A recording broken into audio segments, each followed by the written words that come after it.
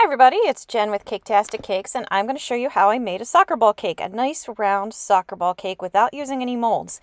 If you have a couple of Pyrex bowls the same size, you can make this cake and I'll show you how to do it. Now I'm going to show you how to make the cake first using a couple of bowls to make the soccer ball cake and then I'll show you the rest of the soccer ball cake. And this is all you have to do.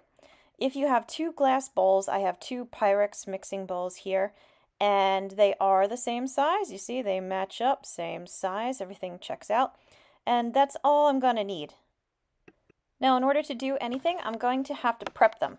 So I'm taking some Crisco or any type of uh, vegetable shortening, and I'm going to coat the bowl, give it a nice coating all around it. And it doesn't matter if the bowls are old or new, as long as they're glass and the same size. Pyrex is a great brand, so that's what I use. Uh, now that it's greased, I'm going to take some parchment paper, cut a little funky looking circle out of it, and stick it into the bottom of my bowl. I know that these bowls are not completely flat or completely round on the bottom, but that's okay. Now I'm going to take a little more Crisco, a little more vegetable shortening, and apply it to the top of my parchment paper because I really don't want this to stick, and I've never had it stick. Like, it, it works so well. Okay, now I'm going to do the same thing with the second bowl. So here are two bowls that I already have prepped. Uh, they were a little bit of a different size when I realized, oh shoot, I didn't actually show anyone how to grease them up. Now when you add your batter to it, you're just going to fill it in about halfway. And as you can see, it says do not preheat your oven. Do not preheat your oven, people. If you're going to try this method, do not put these bowls into a hot oven. No, no, no.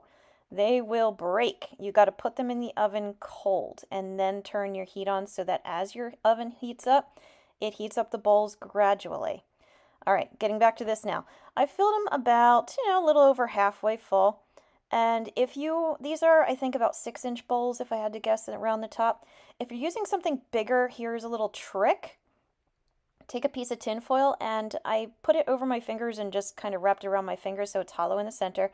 Add a little bit of Crisco to it on the outside so that you have basically kind of like a well, I guess you could say and that you would push down into the center of your batter. This way it will cook a little bit more evenly because if your bowl gets too big, you will end up with a gooey center. So this would help avoid it. But as you can see, it floats a little bit.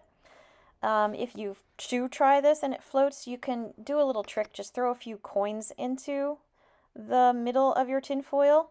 And who cares if they bake? you know, it's not going to touch your food. And they can get warm. So yeah, it should be okay. Now, like I says, place in the cold oven, then set your temperature. When they come out, they're going to just plop right out. You might have to give them a little wiggle wiggle like that. Boom, there it is. nice and round.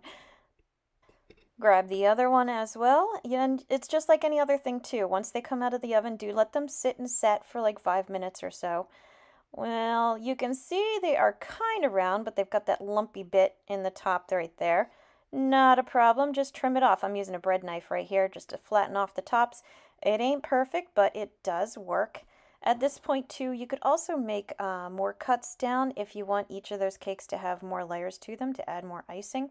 This is just demonstration purposes, so I didn't bother wasting my icing. However, there we go. See, it's much more half hemispherical, I guess is the term. So yeah, any of the rough edges, just trim them off. Anything that isn't even, you know, it isn't perfect, don't worry because you're going to add your icing. And this is where I said before that even though you could see it's a little flat on the top and the bottom, I kind of feel like the little flat on the bottom's not a big deal because you do want it to sit on whatever it's sitting on.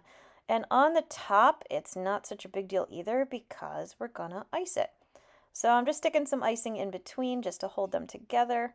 Again, just for demonstration purposes gonna line them up as best I can. And at this point too, if you see, you know, around the edges that where they're connecting, it's sticking a little too bit, you could trim it.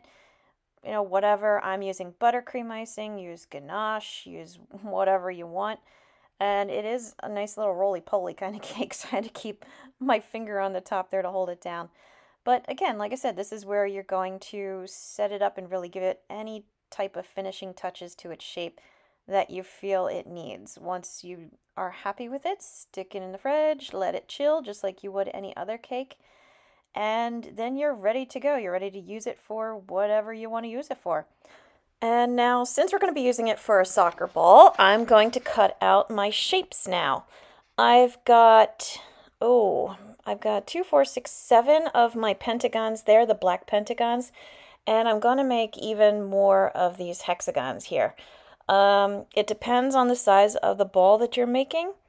I like how many you're going to need, but you're typically going to need, you know, about the same amount because it kind of gets tricky here. This is where it becomes a little more hard and you might have to do a little bit of research. But whatever diameter ball you're going to make, you have to have the right size hexagons and pentagons to go on your soccer ball because it's going to look weird if you don't have it proportioned pretty close. Like mine is not perfect, but it's close enough that I got away with it. It's also going to look best if your ball is as perfectly round as possible. This is where maybe it's worth it to go out and buy the mold. I didn't, and like I said, it came out really darn close. It's not perfect though. To get an idea, um, when you place it, you're to have, if you know, if it's to be, you know, proportionally look pretty good, it's going to have to look like the black center is showing nice and nice and bright right there in the center, and you're going to be seeing um, on the perimeter of your ball when you're looking at that one centerpiece head on, you're going to see the black, the other black pentagons, um, you know, around the perimeter. It's so that way you don't see any more of that and that way your proportions are going to be pretty good. This is, like I said before, you're going to have the front of your cake. This is the front of my cake. This is where it's going to look the best. I'm not going to lie. I, I ended up um, using a cake that I had made into something different. So I re-iced it and my icing was not perfect. So right here you can see in the back it becomes a little bit off. That's where my shapes start to fall apart. So you got to be careful. Make sure you have a front that you keep nice and clean. Watch your sizing watch your positioning. Make sure you have your, your one pentagon and then your star, your stars, geez, uh, into kind of a, like a star flower shape. And then your hexagons are surrounding each one and you will be pretty good. Uh, like I said, in the back, I had to stretch some of the pieces a little bit. I had to fill in the piece a little bit, but it's in the back. And yeah, so I took that green border off also that you saw there. And I'm going to pipe in some grass just using a star tip because it looked better. I didn't like how the green looked before. And yeah, when you have it all said and done, it looks like a pretty darn good soccer ball. No one's going to be mad at you for it. So I hope you found this video a little bit helpful, hopefully. I hope you like and subscribe because it does help me out as well. I've got a lot of other videos out there, so be sure to take a look. And as always, thank you for watching Cake Caketastic Cakes.